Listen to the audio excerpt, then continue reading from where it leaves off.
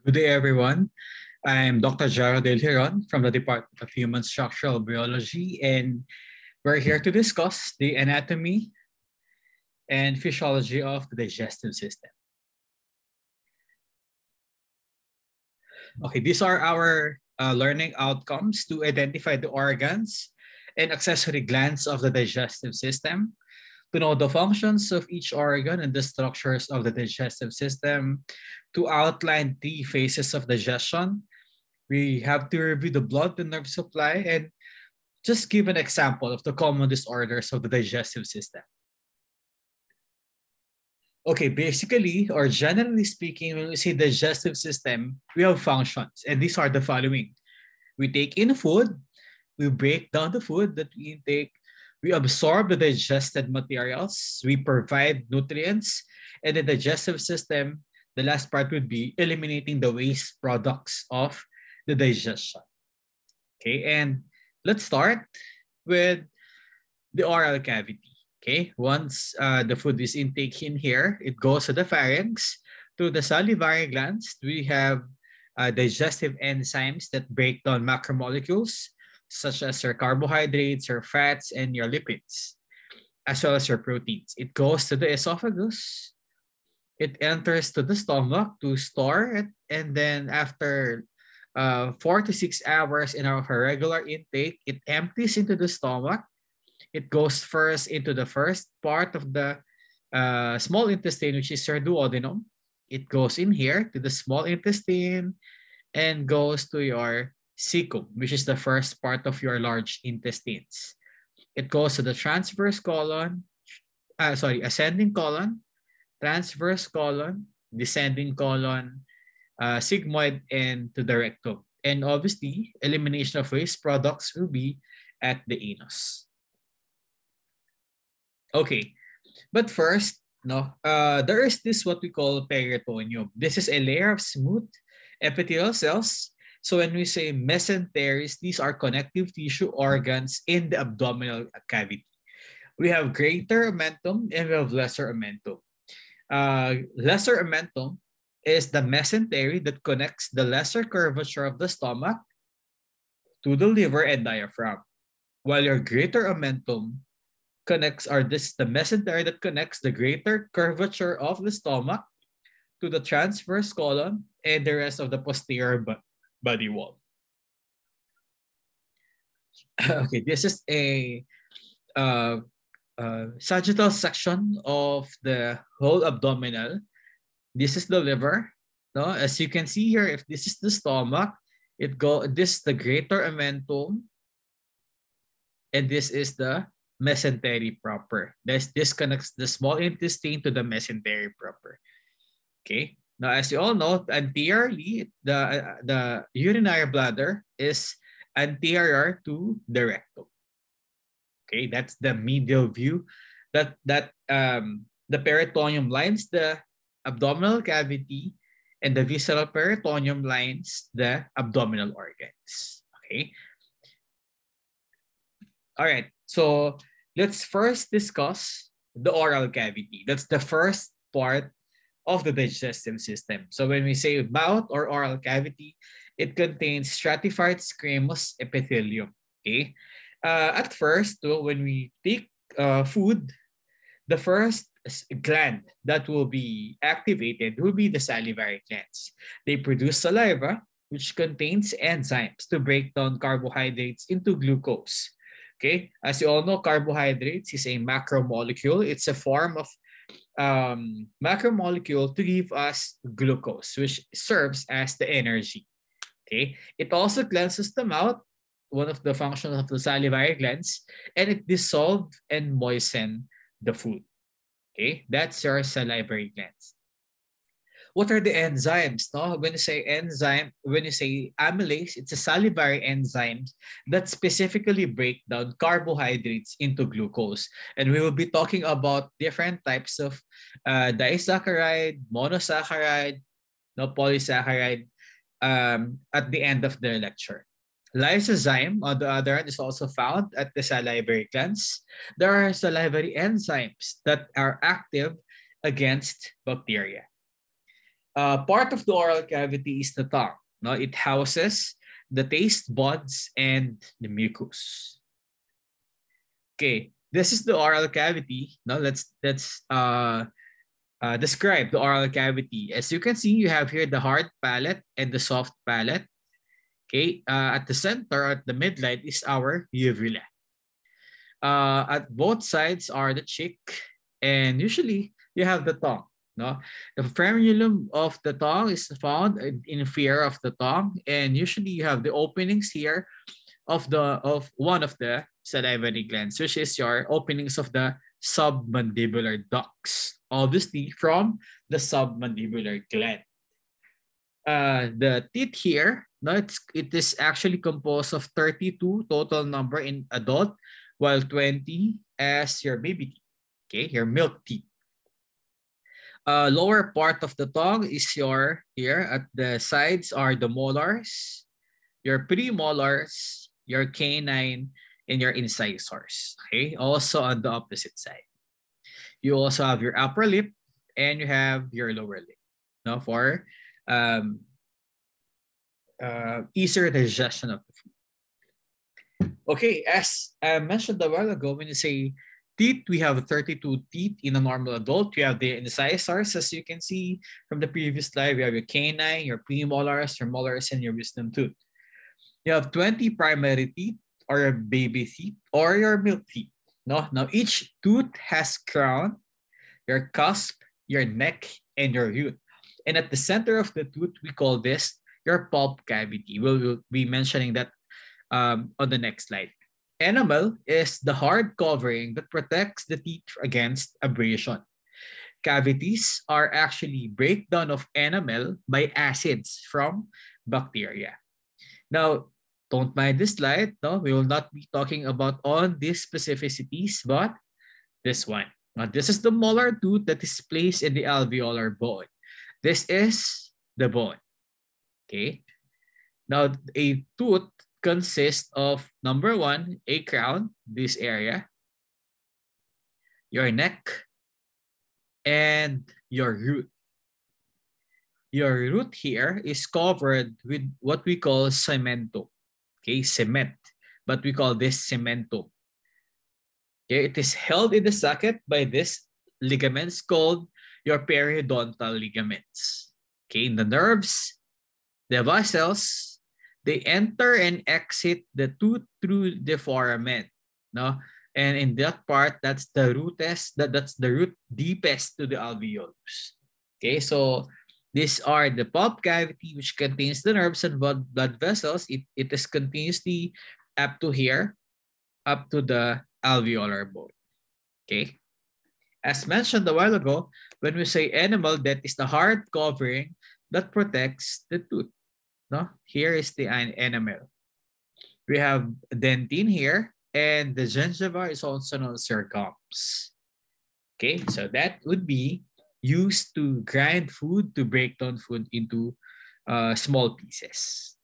Okay, let's go on to the palate. Now, palate is the roof of the oral cavity as you saw the picture a while ago. The anterior part is the hard palate, while the posterior part is the soft palate. Okay. Okay, after that oral cavity, uh, let's talk about salivary glands more. It includes the submandibular gland, the sublingual gland, and the parotid gland. So basically, generally speaking, when you say salivary glands, they produce saliva, not, which contains enzymes to break down food. And we call that this is the number one uh, medical condition. There is an inflammation of the parotid gland. We call it mumps. Okay, usually it is caused by a virus. Okay, please take note of the different glands of the salivary glands. Uh, one would be parotid gland. The type of secretion that parotid gland secretes is purely serous. Okay, take note of that. Next would be the submandibular gland. Type of secretion, it's a mixed type of secretion, but predominantly there are of ser serous type. Okay, and the sublingual gland, that's the mixed type of secretion, predominantly of mucus type. Okay, so take note of this slide. okay, as you can see, these are the following salivary glands. We have the parotid gland, that's the largest salivary gland. And we call this uh, gland, we call this duct where the secretion um, where the secretion passes through is the parotid duct. Okay, that is um, the parotid gland is um, uh, outer of this masseter muscle. Okay, that is a muscle of mastication. Next would be this one. This is the submandibular gland. Obviously, if this is the if this is the mandibular bone, it is found at the submandibular gland. This is what we call the submandibular duct, where the secretion from the submandibular gland passes through. Okay, and lastly, the sublingual gland. If this is the tongue, sublingual, lingual is the tongue, so it is found uh, the, the, there are ducts. Those are ducts of sublingual glands. And as you can see from the name itself, lingual, it is uh, found inferior of the tongue.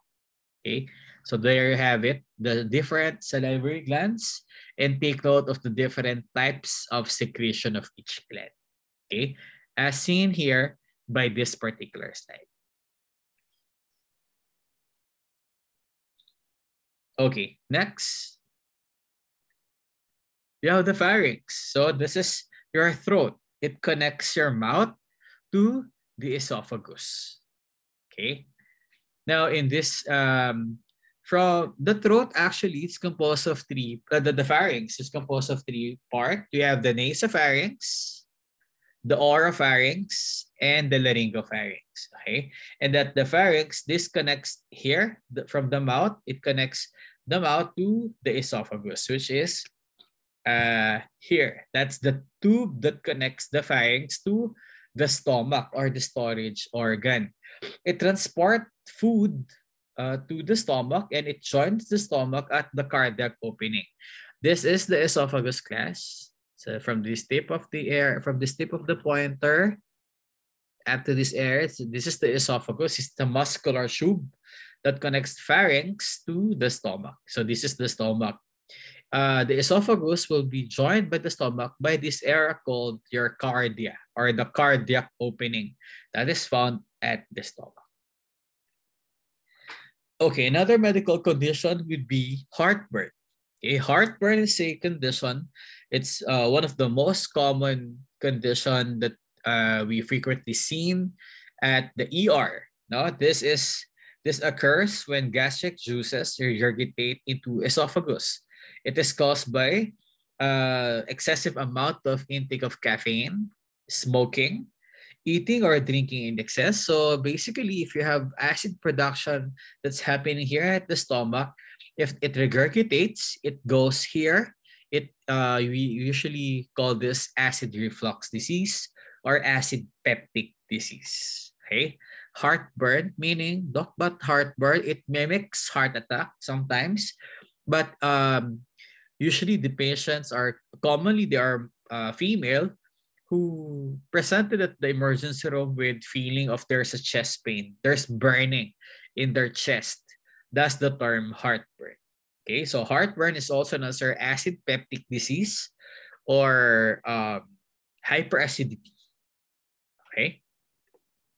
All right now let's go on to anatomy of the swallowing. Anatomy and physiology of the digestive system. And then as you all know, we have to take note of the swallowing phases. First would be the voluntary phase. So this is when a mass of food, we call it bolus, that is formed in our mouth and it will be pushed into the oropharynx. The next phase will be the pharyngeal phase. This is just a swallowing reflex that is initiated when that mass of food stimulates the receptors in the oropharynx. Now, when it goes to the esophagus, it moves the food from the pharynx to the stomach. We are entering at the esophageal phase. Okay. Then the last phase of swallowing would be the peristalsis. There is this wave-like contractions that move the food through the digestive tract. We call this one the myenteric plexus and box or our our Auerbach plexus. That is a nerve um, plexuses that is that's basically the function is to have a motor movement or we call this peristalsis It is found on the muscular layer of all the digestive system or all of the digestive tract, wherein the peristalsis uh, occurs. So the responsible for peristalsis, uh, the nerve responsible for the peristalsis would be the nerve plexus called your myenteric plexus or your Auerbach plexus. So in short, basically there are four peristalsis. Okay, this is just a, an illustration wherein peristalsis um, is um, what explains the peristalsis for the whole digestive tract. Okay, so for example, this is the digestive tract. Since it is um, the, the peristalsis is for, from formed uh, during the last part of uh, swallowing, if this is the bolus or mass of food of the, uh, in the digestive tract, there is a wave of smooth muscle relaxation. Okay, this part right here is relaxed. Okay, now, if there is movement, this one will allow the digestive tract to expand. So if there is this wave of relaxation here, this uh, bolus moves. And what we see here is this wave of contraction of smooth muscle that propels the bolus throughout the digestive tract. So it's not all the time that the digestive tract is relaxed or it's not all the time that the digestive tract is um, contracted. Okay, so there should be a wave of relaxation right here and a wave of contraction of the smooth muscle. And that's basically because of the myenteric plexus or the Auerbach plexus. So please take note of that. Okay, so once the food goes to our mouth, it goes to the pharynx. So from the pharynx to the stomach, because of the esophagus, there is that um, food that is um, found already in the stomach. It is located in the abdomen. It is a storage tank for food. So what are the other functions of the stomach? It produces different um, it produces different secretion. Now it produces mucus, hydrochloric acid, protein digesting enzymes, the stomach also contains a thick mucus layer that lubricates and protects the epithelial cells of the stomach wall form acidic pH. The normal pH of the uh, stomach would be 3. That, that is uh, in acidic form. The stomach can actually hold up to 2 liters of food. Okay, that's how um, big the stomach can hold.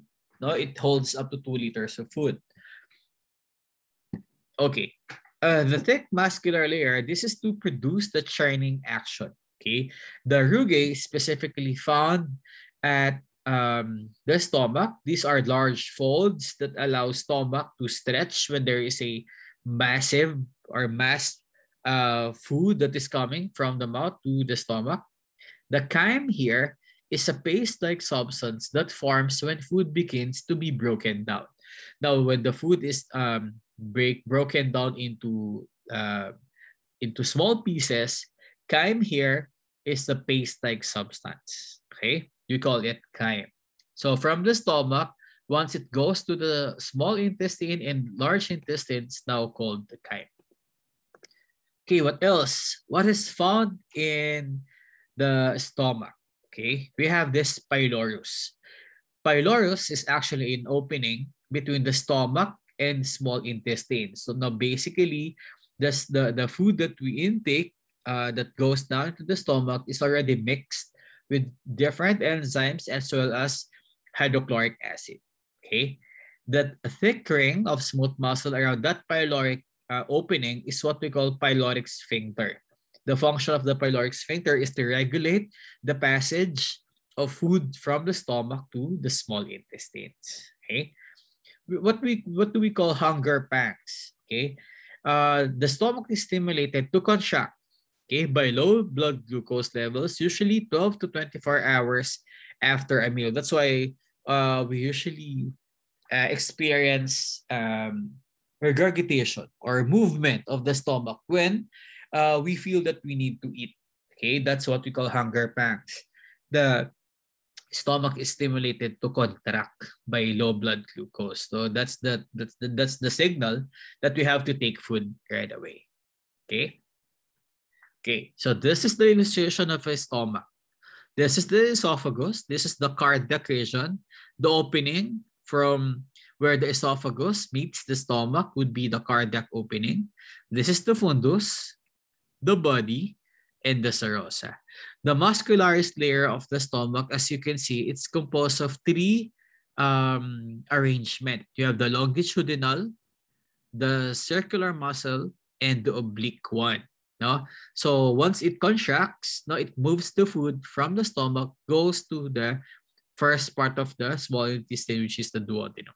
Okay. The rugae, these are folds that um that is specifically found in the stomach. Okay. Early part of the discussion, we've talked about the lesser curvature and the greater curvature. This is where the lesser omentum and this is where the greater omentum is attached from the different parts or organs of the digestive tract. Okay. As mentioned a while ago, at the uh, inferior end of the stomach, we call this the pyloric region. Okay. We have the pyloric sphincter that regulates the food coming from the stomach to the small intestine. And this is the pyloric opening. Okay.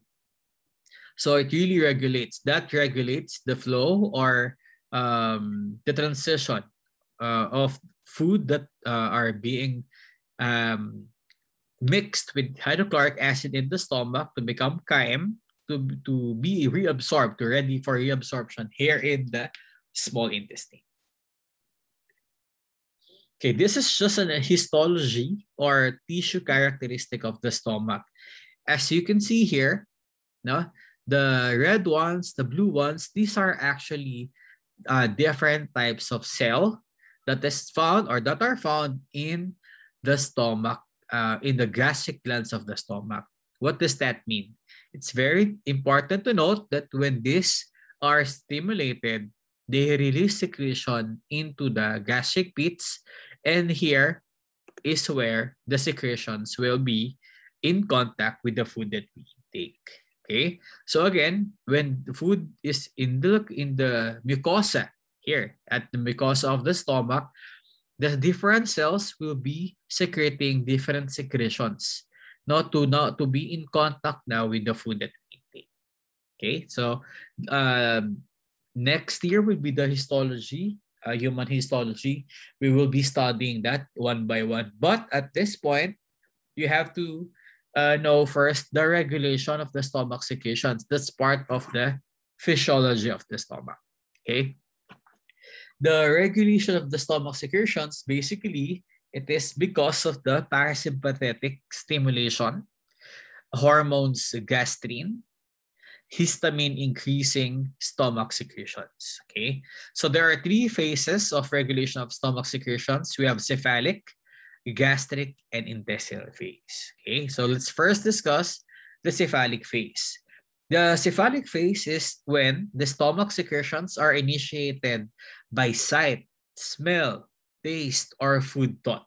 Okay? Once you think of a food, a drink, or once you are hungry, cephalic phase will be activated. Now, in this cephalic phase, the vagus nerves, okay? So when you think of a taste, smell, or thought, or tactile sensation in mouth, there is increased salivation that will stimulate this medulla oblongata in our brain. Okay. Number two here is that the vagus nerves, as indicated by this arrow, will carry that parasympathetic action potentials to the stomach here, where the enteric plexus neurons are activated. Uh, once activated, no, the postganglionic neurons will be it will stimulate the secretion by the parietal cells and chief cells. We'll be discuss this later.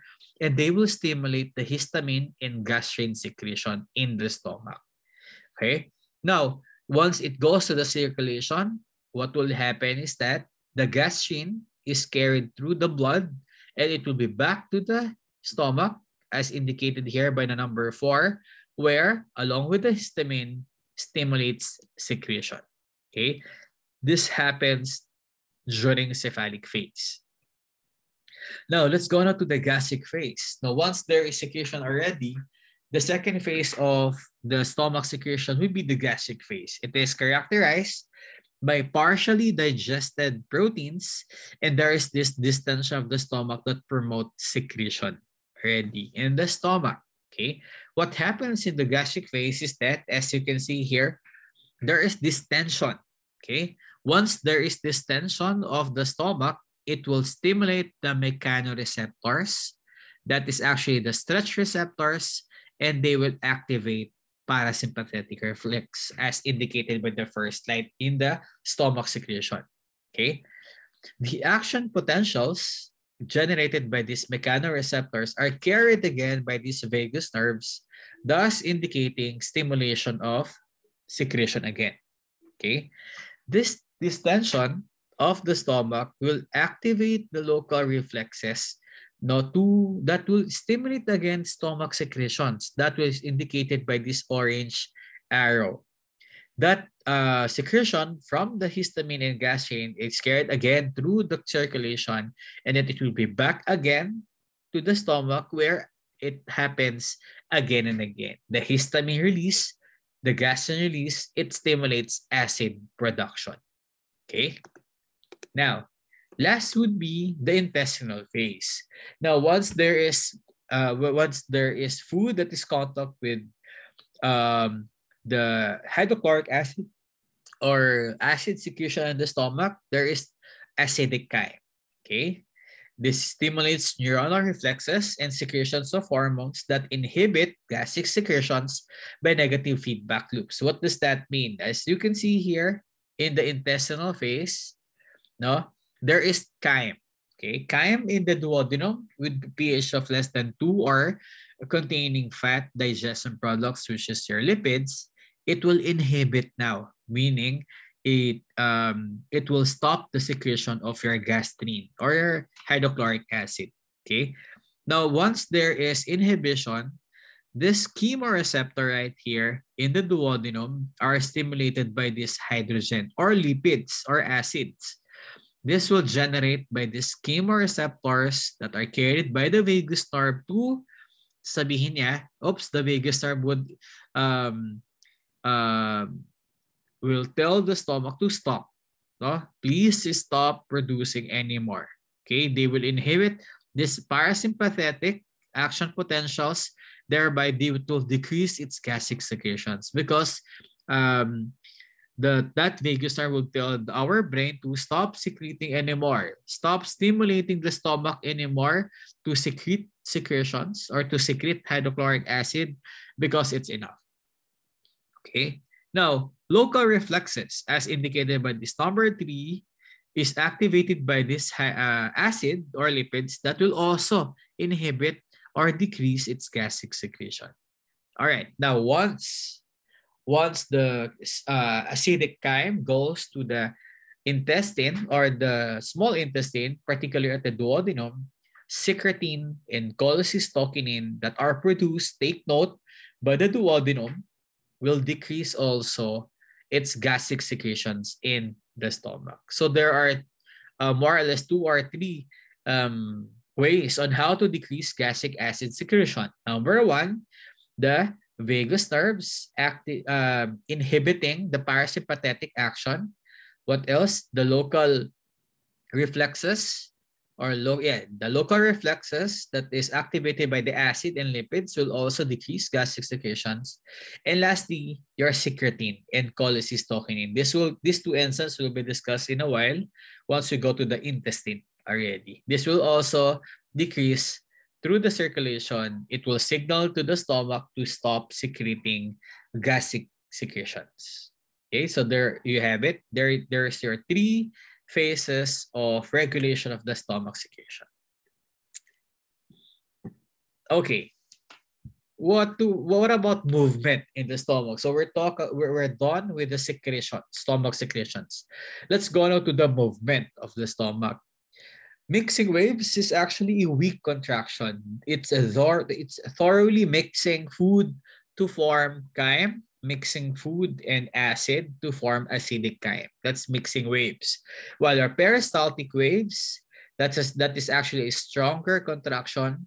It will force the chyme toward and through a pyloric sphincter. No? As we all know, a pyloric sphincter is the one that regulates the movement of uh, chyme from the stomach to enter the small intestine this time.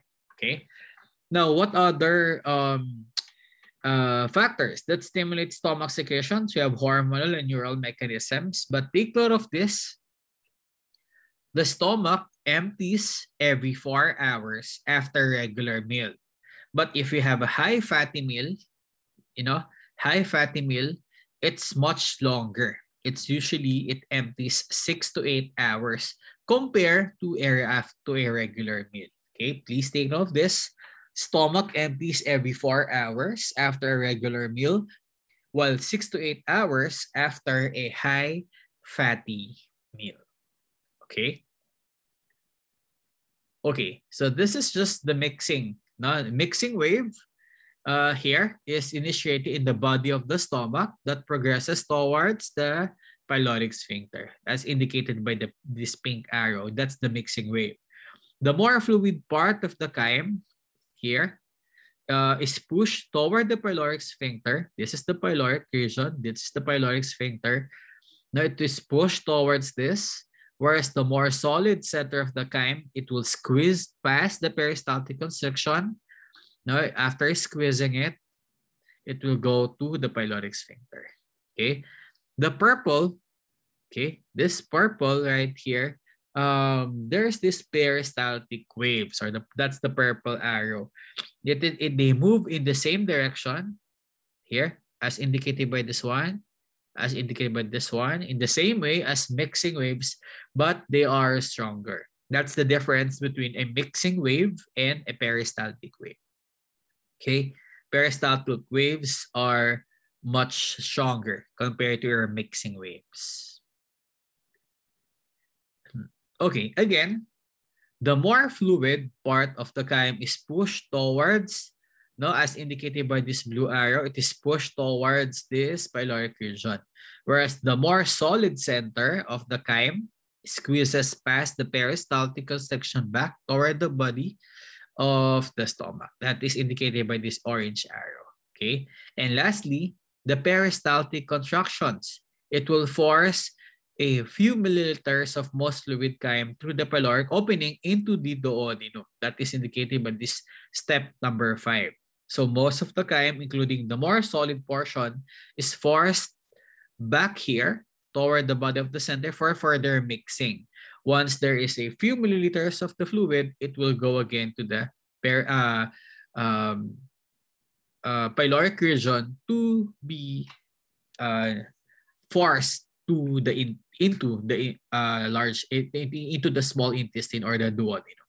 Okay, that would be movements of the chyme in the stomach. Okay, please take note of this. There are different cells of the gastric glands, not just the hydrochloric acid secretion. Okay, what are the other cells of the gastric glands and what are its secretory products? First would be the surface mucous cells and the mucous neck cells. They actually both produce mucin. Okay, but the surface mucous cells, there are mucin. They produce mucin in an alkaline fluid, while your mucous neck cells produce mucin in an acidic fluid. Okay, the parietal cells are actually the characteristic cells of the stomach. No, they are the parenchyma. We'll be talking about that next school year. But please take note at this level that the parietal cells are the characteristic cells and they are the ones producing the hydrochloric acid and intrinsic factor. What do you mean by hydrochloric acid, Doc? This, uh, this uh, acid will be mixed to the food for further um, to become acidic chyme. Well, the intrinsic factor, it's also produced by the parietal cells. They are involved in um, reabsorption of vitamin B12. So if there is no intrinsic factor that is found in the stomach secreted by the parietal cells, there will be no vitamin B12 reabsorption. And the vitamin B12 reabsorption happens in small intestines. Okay. Next cell of the gastric glands that's also found in the stomach are your chief cells. They actually release pepsinogen and lipase. And lastly is your G cells or your enteroendocrine cells. Your clue here is that G cells secrete G, gastrin. But take note, they are your enteroendocrine cells found in the stomach. Okay? All right, so after mixing in the stomach, after producing acid in the stomach, let's go now to the small intestine. Anatomically speaking, they measure six meters in length.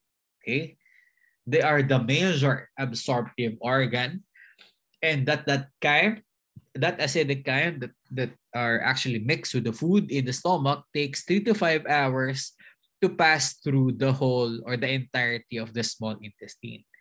The small intestine contains enzymes to further break down food or chyme. It also contains secretions for protection against chyme's acidity. Okay? And when you say small intestine, it is composed of these three parts. The duodenum, the jejunum, and the ileum.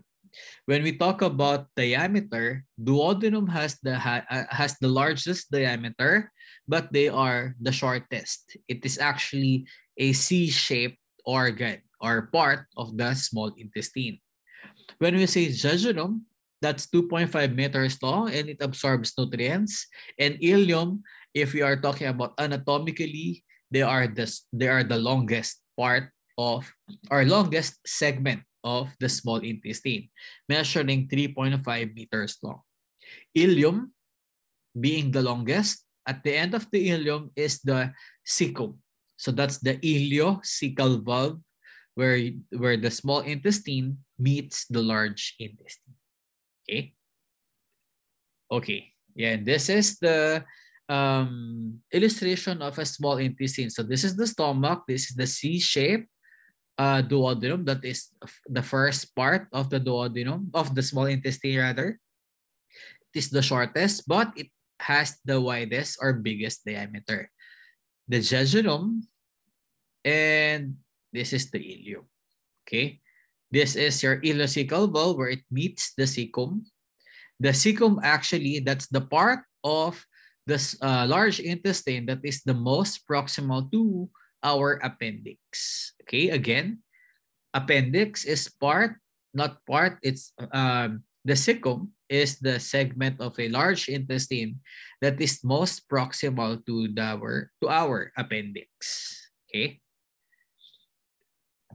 Okay, what else?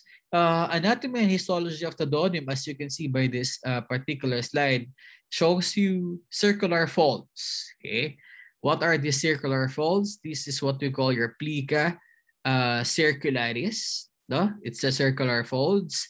Letter B is actually intestinal villi. These are your finger-like projection found in the mucosa of the small intestine. And lastly, no, this is, for example, a single villus. As you can see here, there is a lacteal, the lymph, and capillary network. No? that supplies each villi. And you will be talking about that uh, more thoroughly next school year under um, human histology. Okay, now once um, once we are done at the small intestine, this is where majority of their reabsorption take place at the small intestine. So what does large intestine do?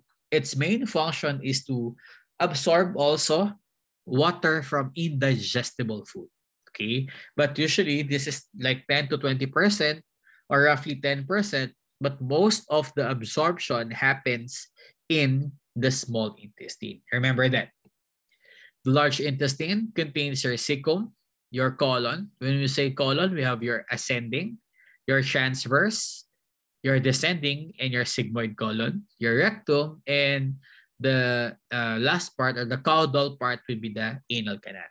Okay. As we talk about cecum, it joins the small intestine as mentioned a while ago with the ileocecal junction and which has appendix attached to it. Appendix is uh, a 9 centimeter structure that is often removed, but not all the time. No, appendix is uh, appendicitis or acute appendicitis is one of the um, most commonly uh, encountered uh, condition at the emergency room with a right lower quadrant pain. Okay, it is characterized by a right lower quadrant pain. Uh, sometimes you have fever. Uh, the, the abdominal pain started at the epigastric area from, from the epigastric within the next 24 hours. You have to observe because if it migrates down to the right lower quadrant, you suspect an acute appendicitis. And appendicitis is not just treated with an antibiotics. Uh, the definitive management for appendicitis is the removal of the appendix or what we call your appendectomy. That's the removal of the appendix. Because um, uh, if if if it is left untreated, uh, an acute appendicitis could rupture. You, know, you have a ruptured appendix that will poison your whole abdominal cavity, and it will actually lead to death if it left if it is left untreated.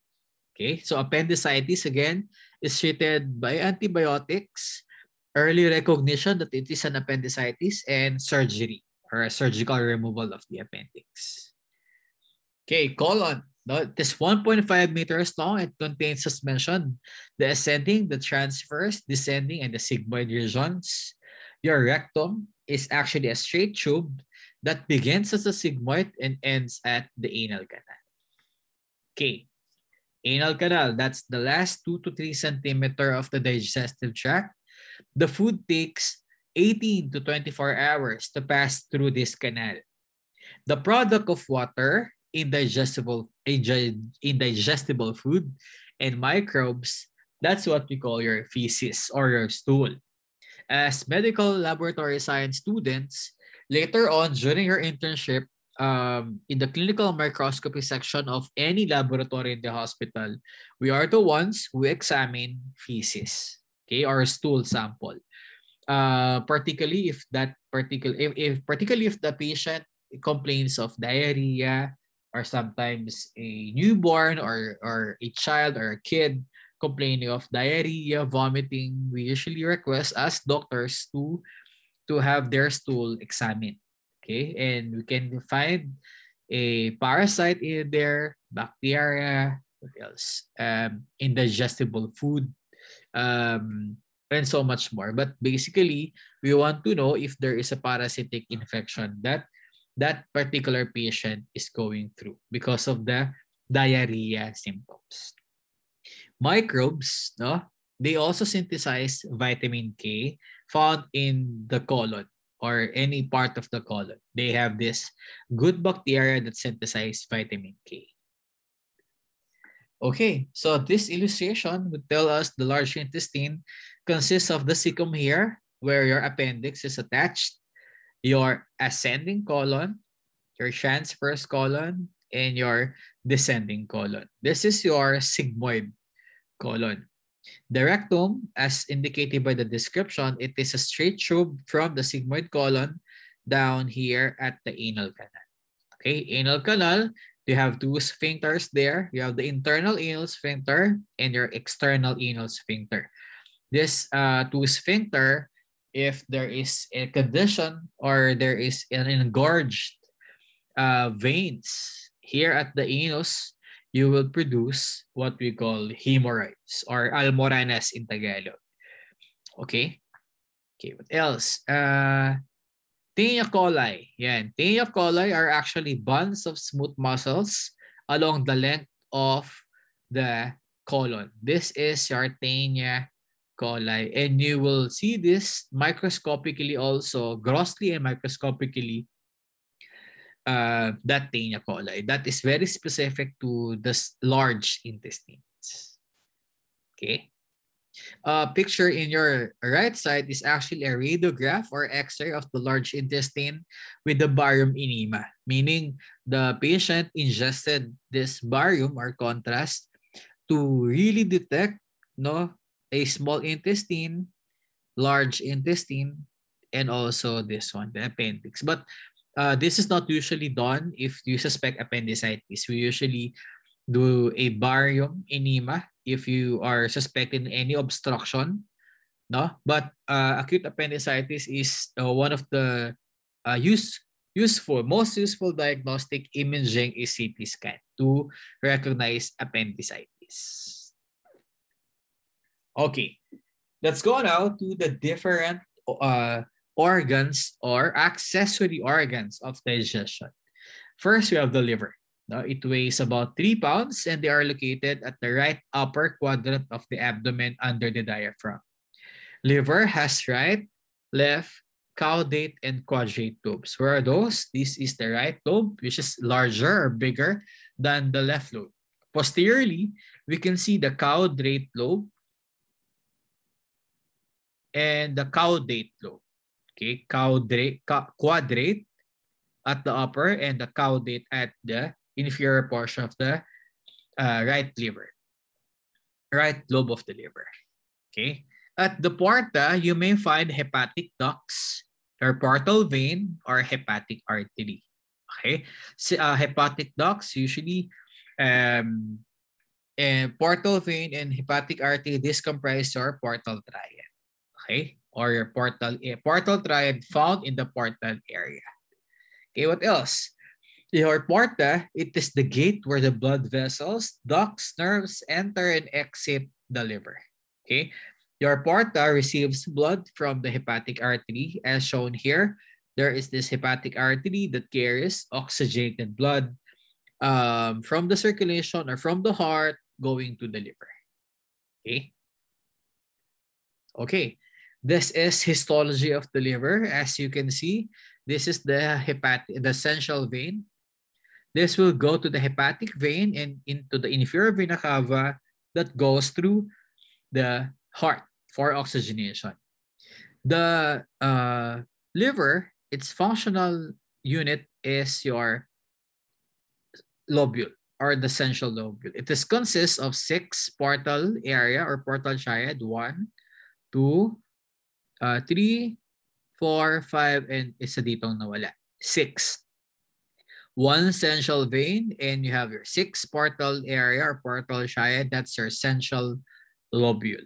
Okay, take note of that. That's your functional unit of your liver. Okay, let's identify grossly or anatomical, anatomically the liver ducts. We have uh, four hepatic duct or hepatic ducts, you have right and left, that transport bile out of the liver. When there is formation of from the left and the right hepatic duct, you call this one their common hepatic duct. So where are those? So this are your, this is the liver, this is the gallbladder. As you can see, we have the right and left hepatic ducts. Forming those two ducts would be your common hepatic duct right here. Okay.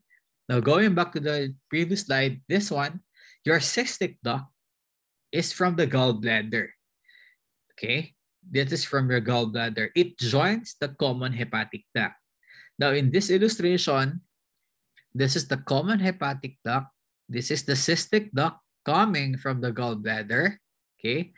This is this, this cystic duct and the common hepatic duct, when they are formed, into one, it is called your common bile duct.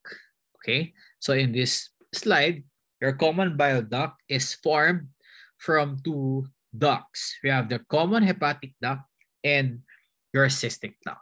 As indicated in this illustration, this is your common bile duct formed from the cystic duct and common hepatic ducts. Okay, this one, the bile that that um, uh, flow into the common bile duct will be uh, coming out in the uh, hepatobiliary tract at the second part of the duodenum.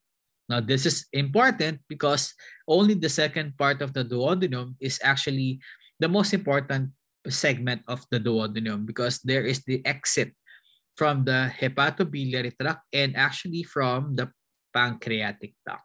Okay, the accessory pancreatic duct. Diyan lang yan sa second part of the duodenum.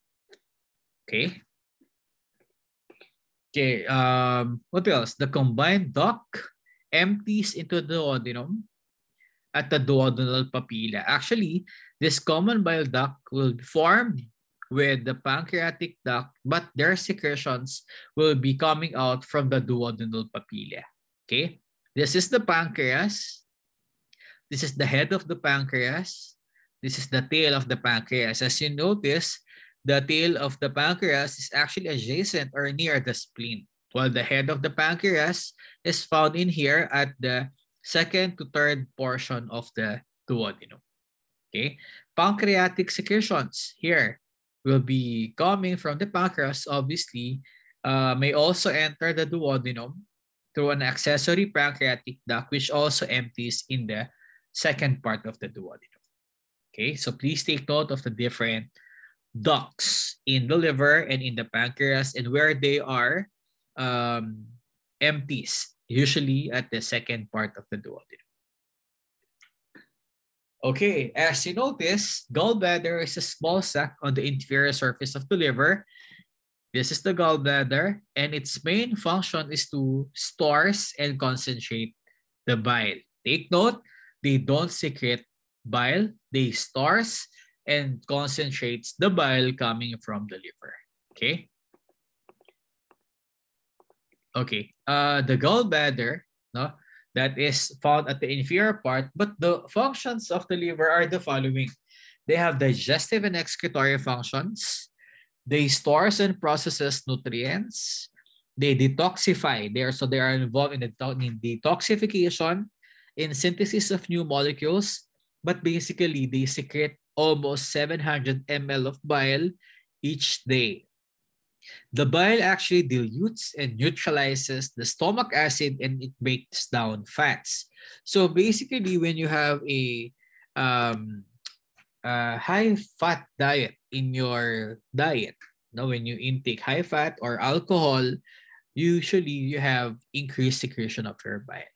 Okay, sometimes it directly excrete into the second part of the duodenum, or sometimes some of the bile will be going to the gallbladder to be stored and they will be cons and then they will be released in ter- in in case of there is a high fat diet again okay? Now let's talk about the physiology. Why um the control of your bile secretion and release now please take note of the following enzymes okay but first vagus nerve no this will cause the gallbladder to contract, thereby uh, releasing bile into the duodenum. Again, they will just contract. The gallbladder will just contract, but the bile will be coming from the liver. Okay, that's the first one. Vagal nerve stimulation, that's indicated by the red arrow, will cause the gallbladder to contract and release bile into the duodenum. That's the second part. What else? First would be secretin. Okay, this is the purple arrow. The secretin is produced by the duodenum, and this will be carried through the circulation to the liver, sorry, to the liver, and it will carry through the circulation to stimulate bile secretion. Please bile secrete more because they have detected a high lipid diet or a high fatty diet. Another would be cholecystokinin. They are also produced, this is indicated by the pink arrow. Once they detect a high fatty meal, they will they will uh, produce by the duodenum. They will carry it into the circulation and they will this time no, uh, stimulate the gallbladder to contract, thereby releasing into the duodenum. Okay.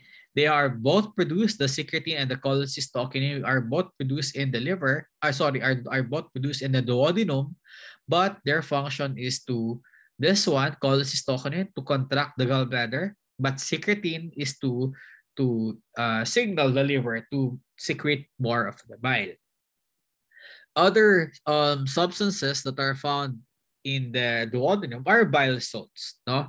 The bile salts, as indicated by the blue arrow, they stimulate the bile secretion. Now, over for over 90% of the bile salts, um, as mentioned here, are reabsorbed in the ileum or in the small intestine, and they will be returned to the liver where they stimulate additional secretion of bile salts. So basically, bile salts and secretin are uh, they both produce um, uh, and their function is to uh, uh, stimulate the production of bile in the liver. Okay, while your their cholecystokinin is to contract more bile to secrete it in the duodenum. Okay, so that's the control of bile secretion and release. okay, let's go now to the next um, accessory organ of digestion. We have your pancreas. They are located posteriorly to the stomach and at the inferior part of the left upper quadrant. Its pancreatic head near midline of the body, while the tail extends to the left and it touches the spleen. Pancreas has two functions. You have endocrine part and the exocrine part. The endocrine part will be most, mostly tackled during the endocrine system, but the endocrine part here, they have this pancreatic islet or islets of Langerhans that produce insulin and glucagon. Take note that, this insulin and glucagon are hormones that control the glucose production in our body.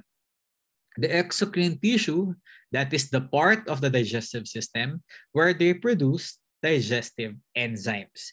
These digestive enzymes class are um, actually needed to further break down the macromolecules inside our body, that the food that we intake.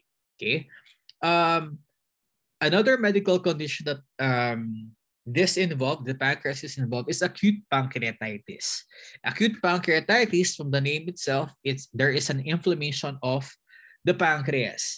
Usually, the patient will come in at the emergency room with an epigastric pain, no, at the middle of the um, at the epigastric area, but this time the pain uh, radiates at the back of uh, at the back No, usually the pancreas kasi is um, a retroperitoneal organ, meaning it is found at the back.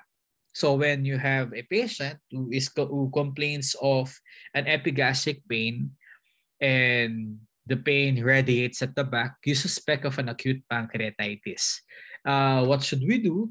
Uh, you tell the patient to uh, do not eat or drink anything. We'll have to observe them, and then you you obtain set, um, necessary laboratory um, lab labs like amylase and lipase. They are actually uh, specific tests for an acute pancreatitis. But basically, more specific ang lipase or the pancreatic lipase compared to a pancreatic amylase. Take note of that. Okay? Okay, so this is the pancreas. So you have the head of, of the pancreas here at the midline. You have the body of the pancreas and the tail of the pancreas that touches the spleen. Um, it, this is actually nice to know. The most common part of the pancreas or um, yeah, most common part or location of the pancreatic cancer is actually the head of the pancreas. Okay. Okay, this is just an anatomy and histology of the pancreas. Uh, the pancreatic islet here, uh, sorry, the pancreatic um, acinus or acinar cells are the digestive part, while at the center is your islets of Langerhans. This is the um, endocrine portion of the pancreas. The cells here producing more no, uh, the, the, the glucagon and insulin are actually hormones of the islets of Langerhans or the pancreas. Um, at this point, all you need to remember is that the glucagon, the hormone glucagon, increases uh, sugar in our blood or glucose in our blood, while insulin, after intake of food, it, it uh, decreases our blood sugar, and that is the function of your insulin that is found in the islets of Langerhans um, whenever that pancreas or islets of Langerhans detect that there is an excess or an increase, uh, an increase in blood sugar or blood glucose in our body, insulin will automatically be secreted into the circulation. Okay? Okay, what are the control of their pancreatic secretion? Number one, yeah, this is the pancreas. Number one would be parasympathetic stimulation. So from the vagus nerve, This will cause the pancreas to release a secretion that is rich in digestive enzymes. No? That will be in the form of pancreatic juices. Next, secretin. Okay, secretin that is released here from the duodenum will stimulate, will sorry, would go to the blood circulation to stimulate the pancreas to release a watery secretion that is rich in bicarbonate ions. Okay, this is after a high fatty diet or high fatty meal. Another, your cholecystokinin is released from the duodenum and it will also cause the pancreas, it will go to the circulation, it will go to the pancreas to release a secretion that is rich in digestive enzymes. Again, cholecystokinin, it will um, uh, it will increase the release of the pancreas of digestive enzymes, while the secretin rich in bicarbonate ions. Okay, so again, you've encountered these two hormones, the secretin and cholecystokinin, so they control the release of secretion from the pancreas as well as the release of bile from the liver, as well as contraction of the gallbladder to release bile. Okay, so please take note of these two common hormones of digestion. Okay, so we've talked about the anatomy of the digestive tract. The we've talked about the accessory organs of the digestion. So what are is what are what is really a digestive process or digestion?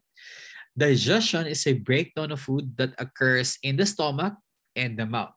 Okay. The propulsion is a process that moves food through the digestive tract, and that includes swallowing and peristalsis, as discussed in an early part of the lecture. Absorption primarily happens in the duodenum and jejunum of the small intestine. Thus, the small intestine is the major absorptive organ. The defecation is defined as the elimination of waste products of digestion in the form of a feces. Okay, so please take note of the four digestive process. In digestion, no, as you can see in this illustration or in the figure 16.22, once we take the food, okay, we, we there is food intake. Primarily, this consists of carbohydrates, lipids, and or proteins. The carbohydrates are broken down into monosaccharides, where the lipids will be broken down into two, into fatty acids and monoglycerides. So another macromolecule, your proteins, that what, what we uh, protein once there is a protein intake, it will be uh, broken down into simpler forms of protein or simple blocks of protein called your amino acids. Okay. Okay, in this illustration, this is the digestion of each carbohydrates, lipids, and proteins. First, we have the carbohydrates. Once in the mouth, it will be acted upon by the salivary amylase. And then that carbohydrates will be broken down into polysaccharides and disaccharides at first. It will go to the stomach. Now, once it goes to the duodenum, once this polysaccharides and disaccharide that is acted upon by the pancreatic amylase, it will become disaccharide. So again, the carbohydrates, once it is acted upon by the salivary amylase, it will just produce polysaccharides and disaccharides. But once this is acted upon by the pancreatic amylase, it will now produce disaccharides. Okay? At the epithelium of the small intestine, there is what we call your disaccharidases. These are enzymes that breaks down disaccharide. From this disaccharide, once it, it is acted upon by this disaccharidases that is found in the small intestine, it will be broken down into the monosaccharides, which is a uh, glucose. That's an example of a monosaccharide. Now let's go to the lipids. It goes to the mouth, it goes to our stomach, but once in the duodenum, okay, once it goes to the duodenum, it they will be acted upon by the bile salts that is found in the from the liver and lipase that is found in the pancreas. Okay. Once there is breaking down of lipids, it will go here at the epithelium of the small intestine for reabsorption, but it is in the form of fatty acids and monoglycerides. Okay, this is uh, when the lipids are broken down into two, it is broken down into fatty acids and monoglycerides by the help of these bile salts in the from the liver and lipase from the pancreas. And last macromolecule is your proteins. It goes to the mouth, but at the stomach, it will acted upon by this pepsin that is um, released from the chief cell of the proteins. It will be broken down into polypeptides first. Once this polypeptide enters into the duodenum, they will acted upon by the pancreatic enzymes. And we call that pancreatic enzymes as trypsin, chymotrypsin, and carboxypeptidase. Okay, so these are enzymes or the digestive enzymes that are released from the pancreas. Okay, take note of this. At the stomach, there are uh, polypeptides. Once they entered they once they enter in the duodenum, they will be acted upon by these digestive enzymes from the pancreas and they will become peptides. Okay? Just like your carbohydrates at the epithelium of the small intestine, you may find peptidases. These are enzymes that are responsible for breaking down peptides. At the epithelium of the intestine, of the small intestine, the proteins will be broken down from the polypeptides to the peptides down to the simpler or building blocks of protein, and we call this your amino acid. So in this illustration alone, as you can see, you know where this specific uh, macromolecule is breaking down, break, broken down into a simpler form. What are these enzymes that are acted upon by this? And usually at the small intestine where where all your digestive or reabsorption happens, they are broken down into simpler forms of these macromolecules. Okay, so the enzymes that are involved in the digestion of carbohydrates, lipids, and proteins are in relation to what region of the digestive tract where each functions. Okay, so please take note of that illustration or figure.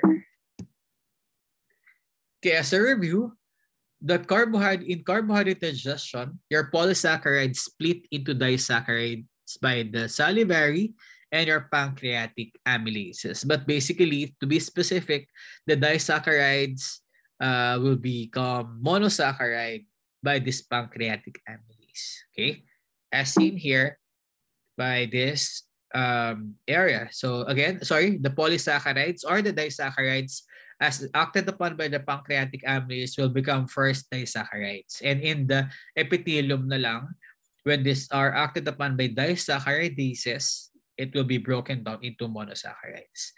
Disaccharides broken down into monosaccharides by this enzyme at the surface.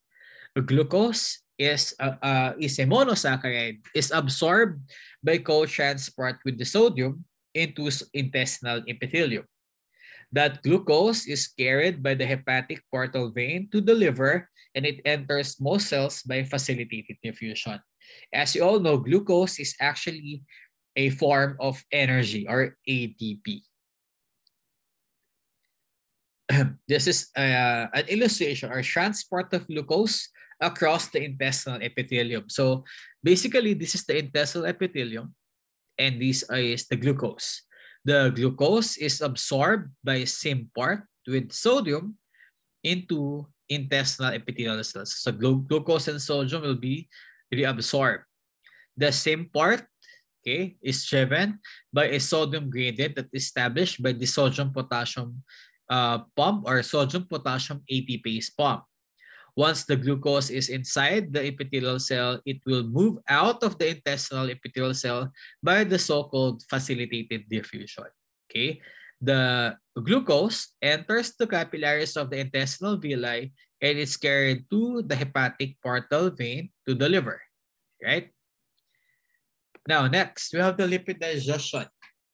Uh, bile salts emulsify lipids. So after a high, a high fatty food intake, the bile salt will emulsify the lipids at the duodenum.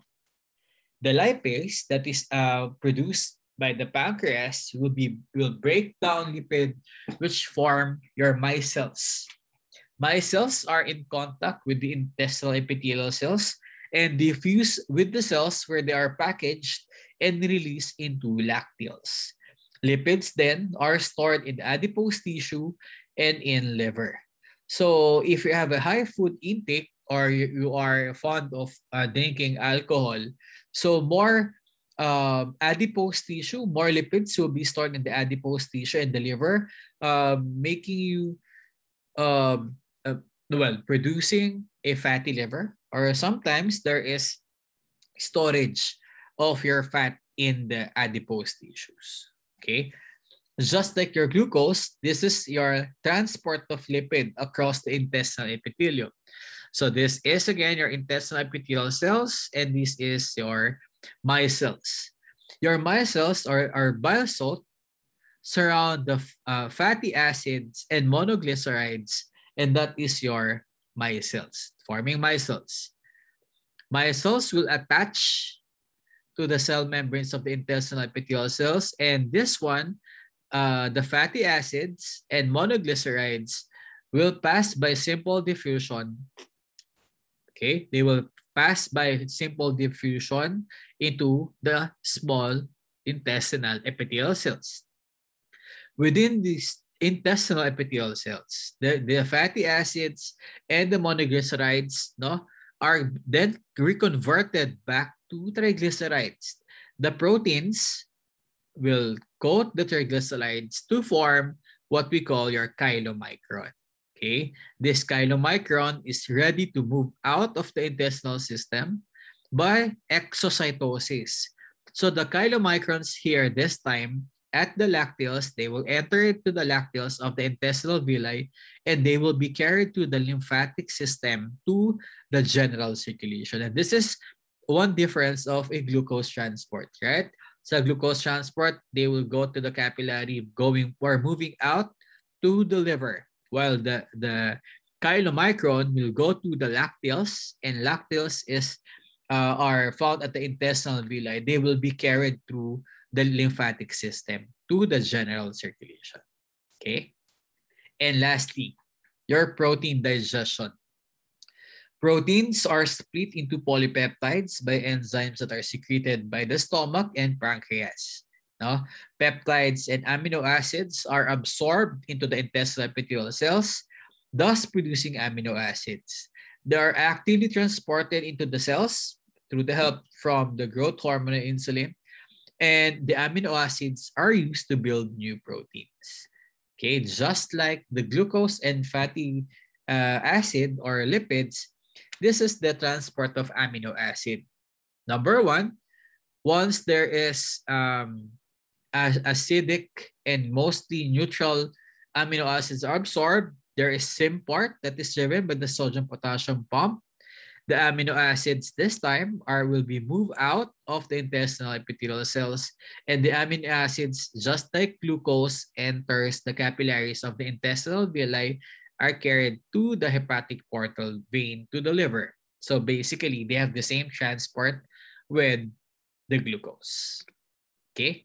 What about water and minerals? So we've talked about the movement or digestion and transport of macromolecules, namely your uh, glucose, uh, sorry, your carbohydrates, your lipids, and your proteins. So of course, there is water and minerals water can move across intestinal wall in either direction. So it depends on osmosis, where or on osmotic con- conditions. 99% of water entering to the small and large intestines are actually absorbed. So minerals are actively transported across the wall of the small intestine. So basically water, uh, the more the, the more water that we intake, the more that is secreted uh, through our urine, the more that is absorbed in the circulation and the more it is uh, found in our urine. But the minerals, they are actively transported across the wall of the small intestine. Okay? All right, so this is just a summary or of a fluid volume in the digestive tract when we talk about water and minerals. So if, if, if there is a two liter of water that we ingest, from the salivary gland secretion, which is made up also of water, comprised of one liter. Okay, gastric secretions can also lead. Uh, it's basically, or they are majority, they are of water. So it is composed of two liters. Based from the bile secretion and pancreatic secretion, they totaling amount of two liters secretion. Okay, aside from the pancreas, your bile, we also have again a two liter of small intestinal secretion. But take note by this red arrow, as um, the name imply, the small intestine took 90% of the reabsorbed uh, um, uh, structures. So 92% being the small intestine, the major absorptive organ. Uh, basically, 6 to 7%, no, I mentioned kanina 10%, 6 to 7% only will be, will be reabsorbed in the large intestine. And therefore, uh, leaving to 1% of water in the feces. Now, water in the feces is actually ingested, secreted, minus the reabsorbed um, molecules. So, um, before we end this lecture, water is really important in the digestive system. Not just uh, water that is being excreted and ingested, but also water can be reabsorbed. And it is actually um, major composition of these secretions, the salivary, the gastric, the pancreatic, and the small intestinal secretion. Mostly, it's made up of water. Okay? So that would be the fluid volumes from, of all, from all the digestive tract, from the mouth down to the stomach, small intestine, large intestine until it is excreted in the feces. Okay, so that ends our lecture in the anatomy and physiology of the digestive system. If you have questions, clarifications, or queries about the anatomy and physiology of the digestive system, please message me through your Telegram. Thank you for listening and have a good day.